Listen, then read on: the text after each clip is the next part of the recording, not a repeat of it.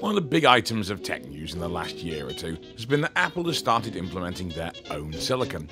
Previously, all of Apple's computers, including the Mac series, all used processors that were not created by Apple. For example, the Apple II used the 6502. The first series of Macs used 68,000 chips from Motorola. Then they used PowerPC chips, also again from an alliance of other companies and Motorola. Then they jumped ship to Intel. For their mobile devices, they've been using chips designed by ARM and manufactured by third parties for them. But now, for their mobile devices and the Mac line of machines, Apple have started to design their own processors, having licensed just the ARM instruction set, rather than the hardware design. And there has been much fuss about it in the tech press. What the tech press has not mentioned, though, whilst claiming several times that this is the first time Apple's ever done anything like this, is that Apple has well done something like this before. Or at least they tried. Yep, it's time to talk about Project Aquarius. Before we get stuck into the details of this thing, just to avoid any confusion, this has absolutely nothing to do with the Mattel Aquarius. That's an entirely different machine that did not involve Apple in any way, shape, or form. No, what Apple was going for was somewhat more technologically sophisticated than the Mattel Aquarius. Well, to be honest, almost everything's somewhat more technologically sophisticated than the Mattel Aquarius. I mean, the Albanian State Washing Machine Company is technologically more advanced than the Mattel Aquarius. Project Aquarius was there to create a new CPU for Apple, as while they were happily still designing machines around the 68000, they knew the 68000 roadmap was, well, coming to an end. And also, in the world of Unix workstations, there'd been a huge explosion of RISC processors. Practically every company that made a Unix workstation had created their own processor. Heck, even Acorn, the people who created the BBC Micro, they created themselves one heck of a RISC processor. So Apple kind of figured to itself, well, why the heck can't we do this if everybody else can? We're bigger, surely we can manage this.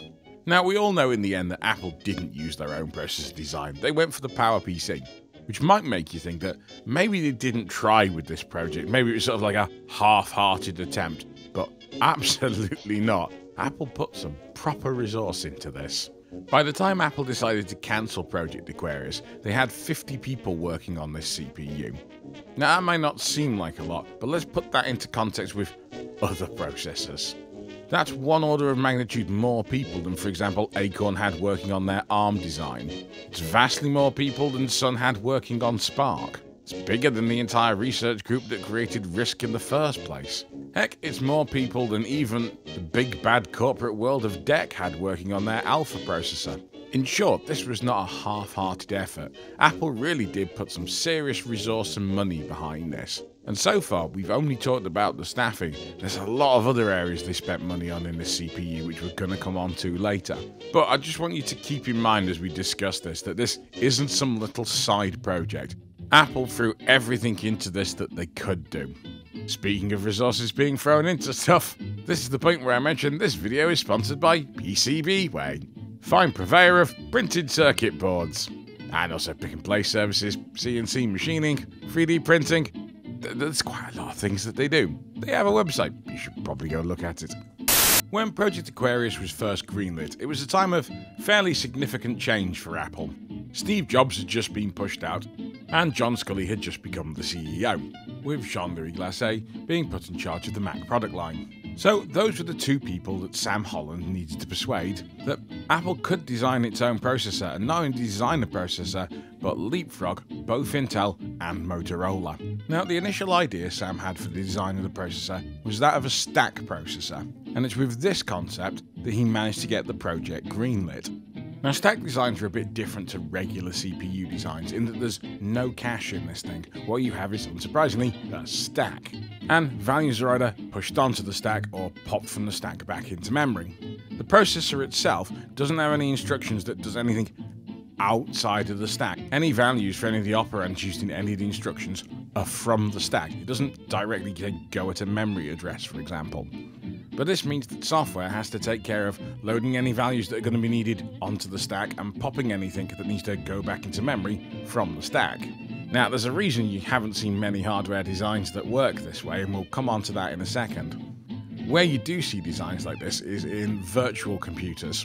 Things like the Java Virtual Machine, for example, where you have P code or portable code.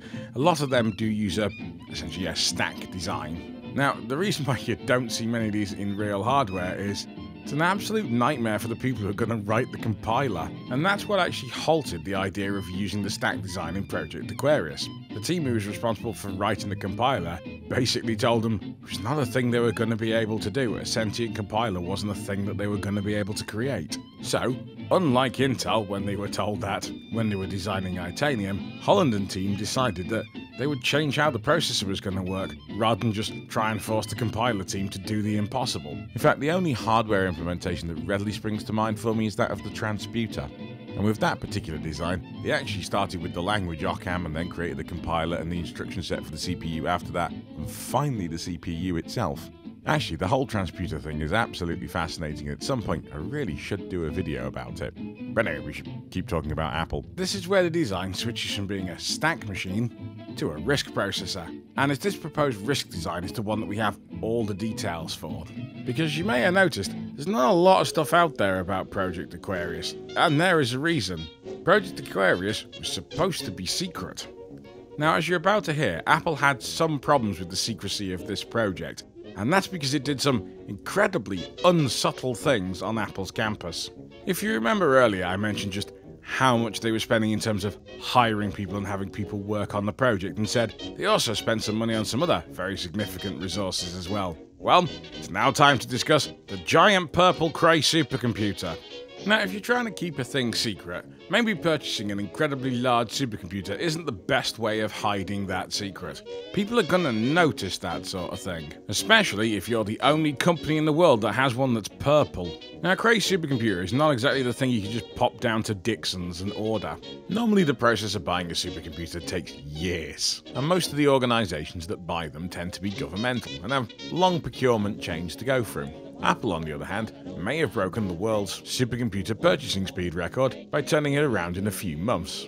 Apparently, with CEO John Sculley being the person who phoned Cray's sales team and started the whole process rolling. Well, if you think they did quite well purchasing a supercomputer that fast, well, that's nothing to the speed of which they managed to get the damn thing installed. Now, if you think a Cray supercomputer is big, well, they're dwarfed in size by their own power and cooling supply systems, to the point where Apple had to dedicate and fit out a whole building on site just for the supercomputer. And they managed to turn this around in six weeks, which is an incredibly short time frame. And they did that by having three crews working in shifts that would work seven days a week and 24 hours a day, and they did it in six weeks. Now, renovating the entire building on campus in such a short time frame, with so much work having to be done, and then sticking a giant purple supercomputer in it, is the sort of thing that everyone on site notices. And this is also you can run your secret CPU project. So Apple was forced to come up with a cover story, and they said they bought the giant purple supercomputer and installed it at high speed so that they could do some interface work for the next generation of Macs. Now, I'm hoping that's a story that almost no one on Apple's campus bought whatsoever, and if they did, hopefully they didn't work in the bridge purchasing department. Now, there's a few other details about this Cray that are also quite interesting. You may be able to tell, I quite like Cray computers. Not only was it purple and installed and purchased in a record time, it also was the first one they shipped with a version of Unix on it. Prior to this machine, Cray machines have been all about running Fortran. In fact, that's basically all it did. It ran Fortran programs. It's just, it ran them very quickly because it made use of Cray's Fortran compiler. And that compiler would take code and optimize it for Cray's vector instructions. And this is where you essentially give one instruction and a whole bunch of data, and it carries out that same instruction and all that data in parallel. That's how a Cray supercomputer got its speed, by parallel instructions. Well, vector instructions to be precise. Now, what Unix and the C compiler for this platform didn't do was make good use of vector instructions. So you may be wondering, why on earth did Apple choose to have Unix put on this thing? Well, the answer is all their chip design tools were written for Unix. So they needed it to run Unix and run it quickly, and run Unix quickly it did not. In fact, the engineers discovered that the Sun machines that they had connected up to the Cray actually ran the chip design application about as quickly as the Cray did. And although a Sun workstation could be quite expensive, it wasn't $15 million expensive. Yeah, Apple paid $15 million for this Cray supercomputer, and if they were the Department of Defense or the Department of Energy, that would have been probably some quite wise spending. But to run a chip design application, yeah, not, not, not so much. I'm going to give Apple the benefit of the doubt and hope that they were thinking, well, for chip simulation it'll be really good. It's just, by the looks of it, they never really got round to doing that part. In fact, this poor Cray machine ended up spending most of its life being used as a system to help design cases for various Apple machines. A task that in no way you needed a Cray supercomputer to carry out. So, with its collection of uh, Cray supercomputer, a number of Sun workstations, and a few Apples, and of course a couple of VAX machines, I mean, it was the 1980s, Project Aquarius continued to come up with what's a quite sophisticated RISC design. Now, the reason we know a lot of details about what was a secret project, albeit a secret project with its own building and a giant purple supercomputer, is because of a leaked specification document. Well, leaked or it was put onto the Internet Archive many years later and no one cared. That specification document was for a CPU codenamed Scorpius, which was Aquarius's RISC CPU, and it is a very ambitious CPU. Because architecturally, this thing has what it refers to in the document as Independent Processing Unit, or PU Processing Unit, which is an idea we know today as cores. Yep, in the 1980s, Apple was working on or designing a multi core RISC CPU, and I don't just mean that these things are a bit like modern cores. No, this really is exactly the same idea. Each processor core had 16 general purpose registers, the same number of general purpose registers ARM does. Each core also has 7 local registers, and there are 8 global registers that are shared by all the CPU cores. There are also instructions that allow these cores to talk to each other, and then there are other instructions that allow CPU packages to talk to each other. So you could have created a multiprocessor system with this as well. And these instructions are necessary so you get cache coherency across the system, because if you didn't have that, what ends up getting written back into main system memory would kinda depend on which core or processor wrote to memory last. As changes that have been written out by one CPU core to memory might get completely dropped because the other CPU core doesn't have that change in its cache when it makes an update to memory. In fact, guaranteeing cache coherency is one of the main testing tasks that go on when modern CPU designs are being tested. The other feature they had in this specification was something that at this point we'd not seen inside microprocessors yet, although we had seen them in supercomputers. Although we probably shouldn't be too surprised about this because Sam Holland's background was in supercomputing. The processor was intended to feature single instruction multiple data. These are these vector instructions we were talking about with the Cray earlier, and is something we'd not see introduced into the world of PC processors, for example, until the Pentium MMX came out, and then much more usefully, the SSE extension. Oh, that's going to get me comments from the Intel fanboys, although I'll slightly preempt you and go, yeah, okay, the MMX was better than nothing just. All these features, if they'd actually got this chip out, would have put this CPU way ahead of its competitors, as it contains a lot of architectural features that are now standard in modern chips, but we wouldn't see for nearly 20 years.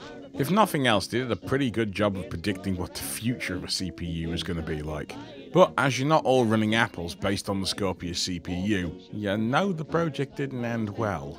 One of the reasons all these computer companies have been able to create RISC processors and run them at pretty rapid clock speeds was the design's simplicity. Everyone else's designs were pretty simple from the first ever RISC processor up until the likes of SPARC and ARM and MIPS. Scorpius was very far from simple. This is a really complicated design with core sharing, things like the memory management unit, cache, you got synchronization instructions, global registers. There's a lot going on in this chip, which means there is a lot to design. There is a lot to get wrong and then fix and then redesign. And all of this just burns through resource. Resource that Apple was maybe struggling a little bit with. In fact, Apple was about to go into a decade which would see it almost go bankrupt. But it seemed a big turning point for the project was when Sam Holland left Apple, and Apple brought in Al Alcorn to replace him.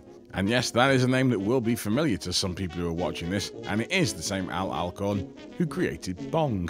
But by this time in his career, he'd left Atari behind and become a fellow at Apple.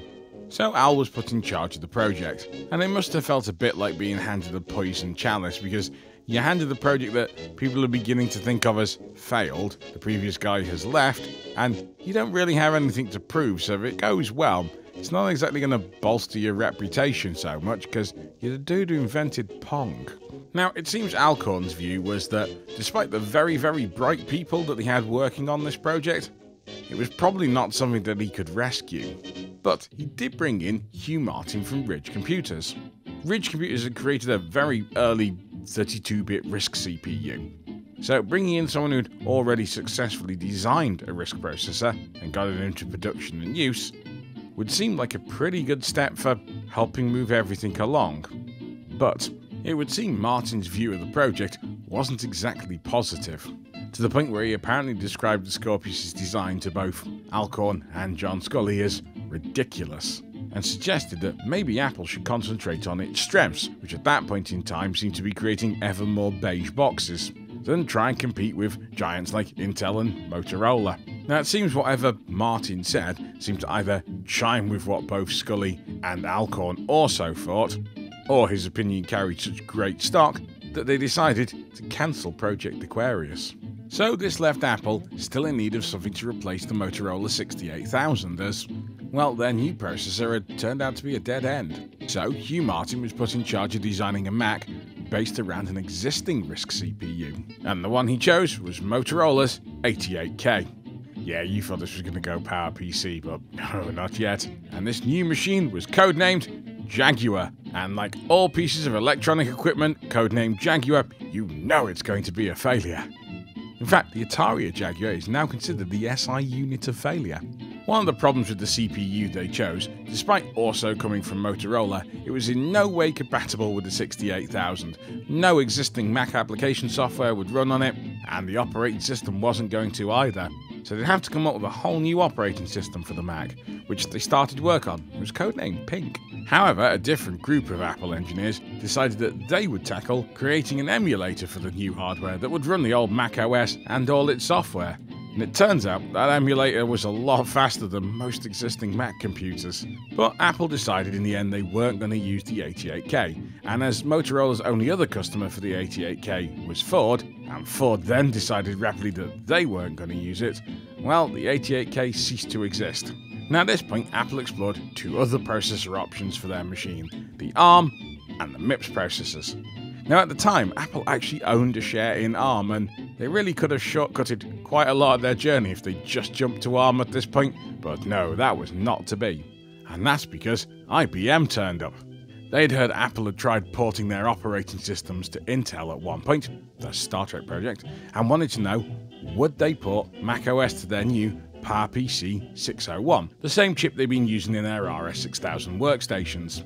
IBM even offered to help finish off this new pink code base, which was going to be the basis of the operating system, just as long as Apple would adopt PowerPC. And it seems that offer was very tempting to Apple because they took it and formed AIM, the group that contained Apple, IBM, Motorola. And as they say, the rest is history. So I'm going to briefly engage in the thing you probably shouldn't engage with what ifs. If Apple had continued this project, actually managed to deliver it, we would have got what is essentially the common CPU design today more than a decade earlier than we did. And why undoubtedly it would have been regarded as a very, very good processor, it may also have been the thing that killed Apple at this point in time. The problem for Apple is they just about survived this period, I mean, really by the skin of their teeth the 90s was really not a good time to be Apple. I mean, PowerPC came out at just about the right time that they needed it. If it had been much later, that could have well been the end of the Mac line of computers. And the Scorpio CPU, while it may have been great, they couldn't have got that finished in the same time frame that they managed to get a PowerPC based Mac out there. And also, the cost of R&D and taping out and manufacturing a CPU is huge. And Apple ate through all its capital reserves and then started selling off assets to keep itself afloat, starting at around this time. So if those assets and capital reserves had not been there because of the whole CPU designing thing, then Apple could have easily just tipped into oblivion. Now, admittedly, if they'd had a better CPU than PowerPC, they might have been able to sell a few more Macs as well. So we will never know how this would have worked out. But it's not as simple to say that if they'd finished this, there would have been a better Mac, therefore Apple would have done much better. We don't know that. And the capital requirements to build that chip, well, that may have left Apple without the reserves to make it through their, let's say, basket case years.